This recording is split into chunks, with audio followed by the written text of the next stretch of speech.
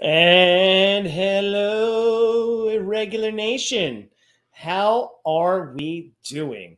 And welcome to another episode of Newsflash, where I like to but jumble the news. You know, a lot of stuff that starts happening throughout the week. I don't want to sit here and make little five minute videos of everything, you know, so let's just kind of together, right? All right. Especially if it's, you know, worth talking about here and there. Um, and I also don't like to talk about the same thing that everybody else is talking about. So I like to give everybody a little something different, you know, another view, a different viewpoint. So anyway, as we go, oh, that Zack Snyder, he just continues to keep doing it. He loves honey dicking people, loves it, gets off on it. I think. Um, he just released the Knightmare Joker image the other day. And I mean, you know, he gives you could see you could see how it's gonna be. Let's uh let's pull that up for everybody as we dive right into this. Let's get that up there so you can see it. So right there, as I'm going around that with the little mousy moo, as we go around, I mean, it looks it looks eerie as fuck, to be honest with you. Um, I love how he's holding the Joker card up to hold it up at everybody. Uh, there's been some speculation on, you know, what's going to happen, this, that, the other. Honestly, I don't know why everybody can't just shut the up and just not guess at what's going to happen. Who cares? We're getting it in, you know, what, 40 plus days? Shush. Stop throwing out spoilers or what you think's going to happen. Quiet just let this man throw out his little, you know, his little Easter eggs that he loves to do because I, I, love that he does it. I mean, looking at the image, I know there was tons of people trying to guess what could be going on.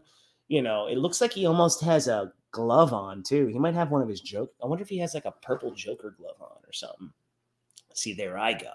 And as you look at it, it kind of he kind of like has that that crow look to it. If anybody saw the first crow, not any of the other ass sequels that they made to that.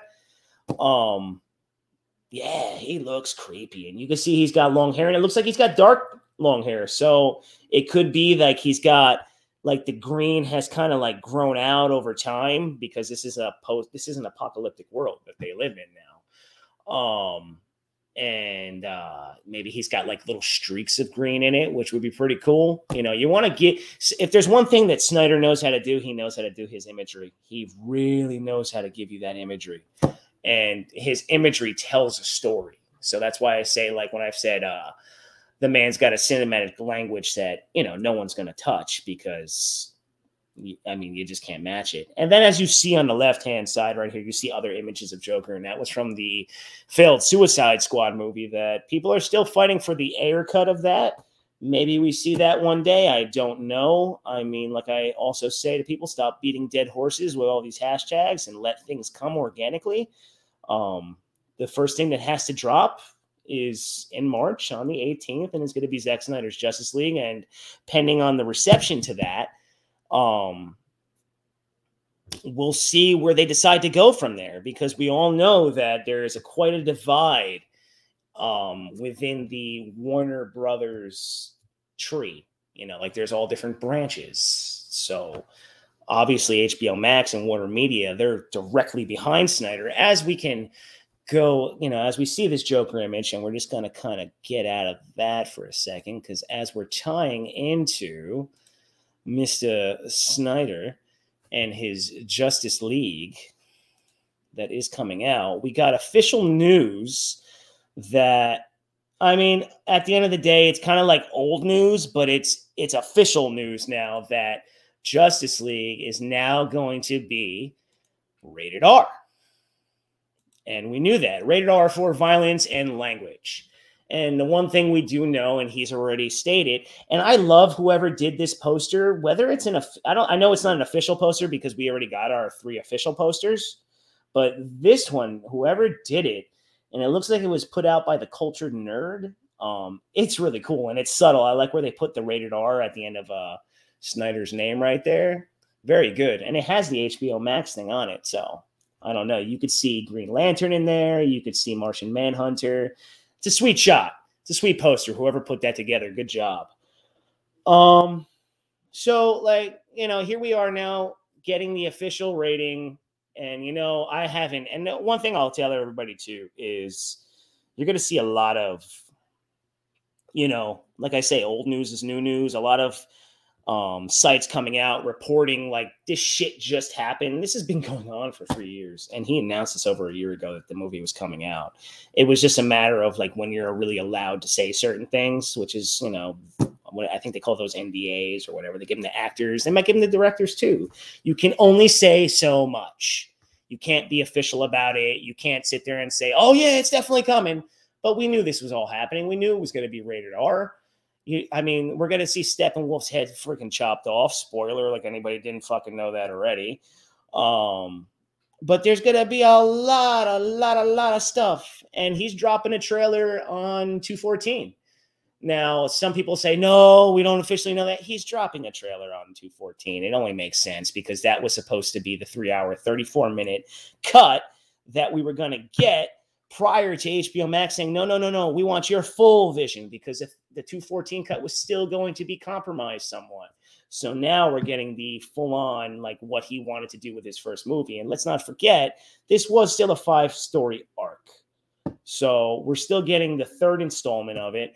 And, you know, everybody wants, everybody's got that hashtag restore the Snyderverse. But the only way that this puppy gets restored is if it, if it, like I, I keep saying, hits it out of the park, like where, um, people are just streaming the fucking shit out of it. And I emphasize the word F, fuck, because Batman will drop an F bomb, might drop a few. Who knows? We don't know who else is going to be dropping some bombs in this movie. I'm sure a lot of them. I mean, there's some serious stakes uh, that go on throughout this.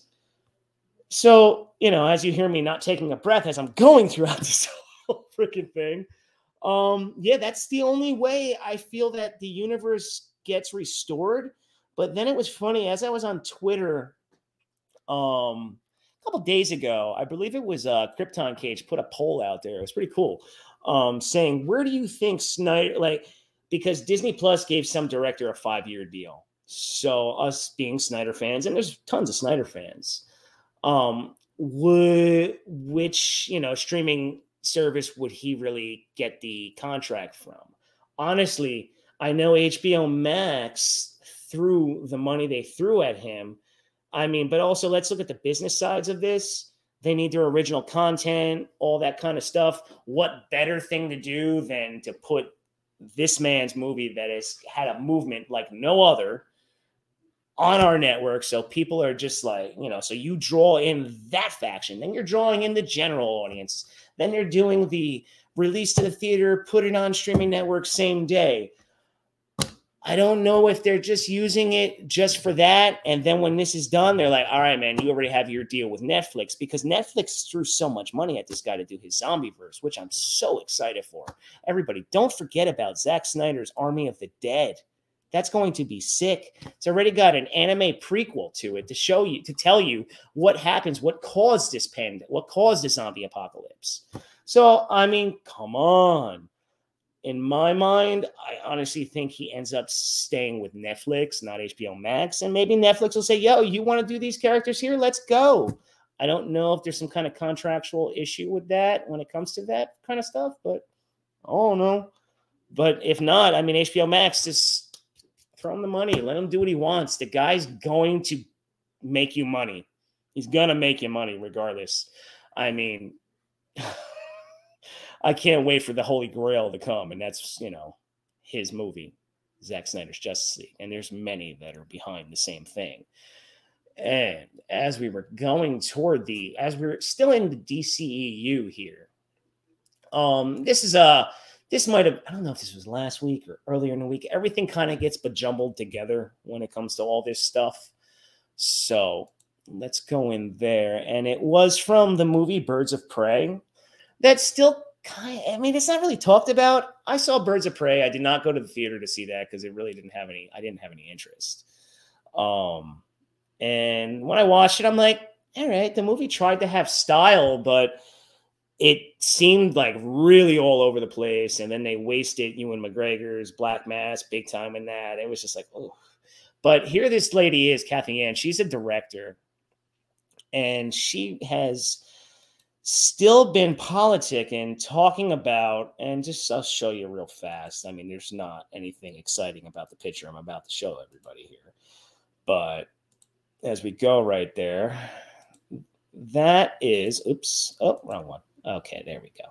That's Cathy Yan sitting right there with, oh, not sitting, standing there with Rosie Perez and then uh, Margot Robbie herself, Harley Quinn, who we're going to us, we're going to see her in Suicide Squad again coming up in James Gunn's Suicide Squad, where I believe they released a synopsis. Um, kind of figured what that would be. Uh, it's just going to be an all-out freaking action movie of craziness.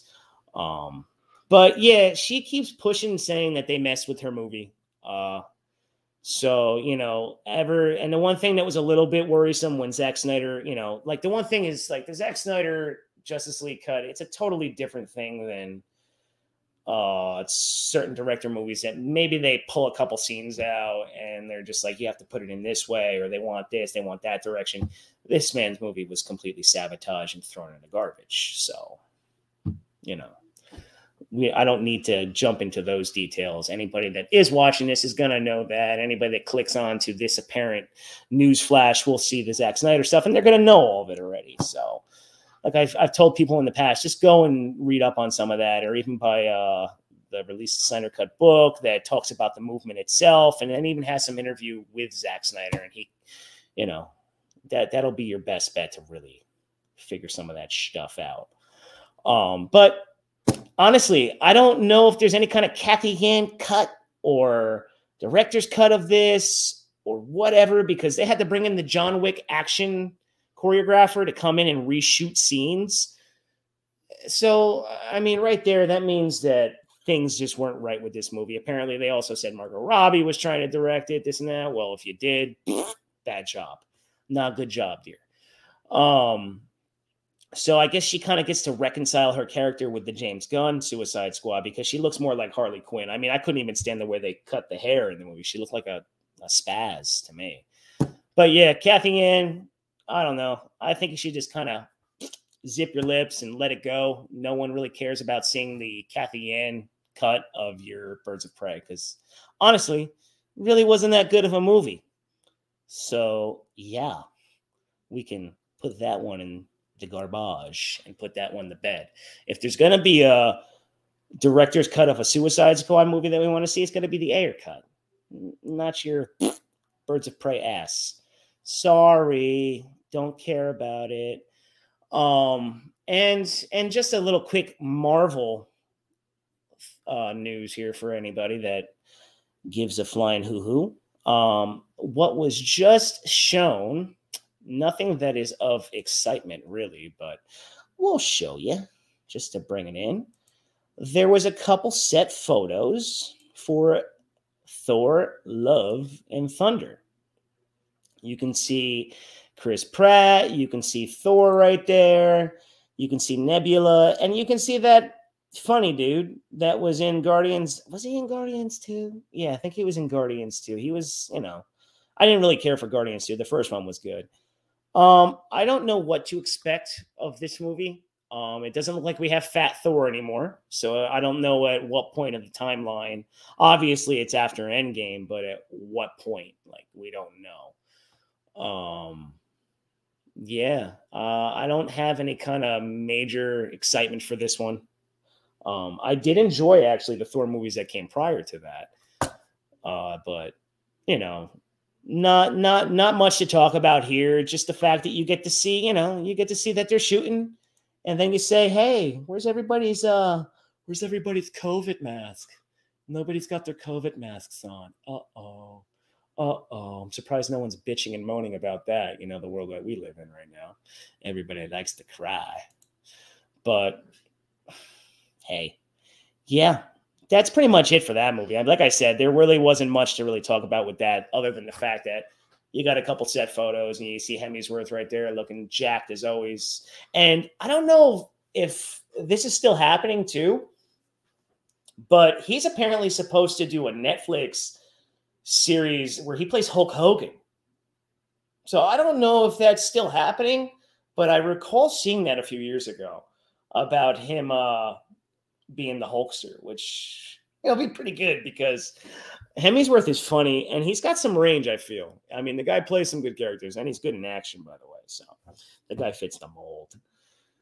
But anyway, everybody, that is another episode of Newsflash. So I want you all to make sure to go hit that like, hit that subscribe, and become a part of the Irregular Nation. Because why wouldn't you want to take a ride on the irregular side with this freaking nut? Cheers, everybody.